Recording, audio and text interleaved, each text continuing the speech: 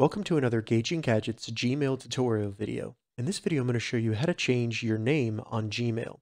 So if you want to change the name that is shown to people when you email them, as you can see right here, it says Billy Smith. In this tutorial, I'll show you how to do that.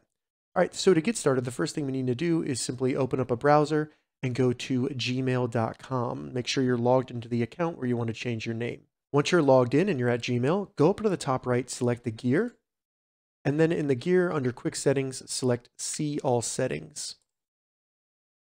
From here in the top menu, we want to find accounts and import, select that.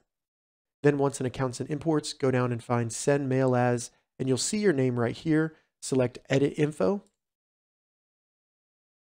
And then in this new window, as you can see, it has the name, your current name, which is your name in Google accounts. So this is the name shared across all of the Google services, maybe YouTube, Google Maps, things like that. If we select the dot next to the empty text box right here, we can then put in whatever we want. So I'll just put in my initials and then go ahead and select Save Changes.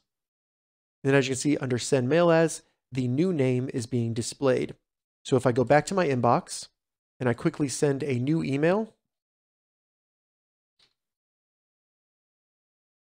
when I get that and open it up, as you can see, the new name that's displayed is my initials. It no longer says Billy Smith, it says BS.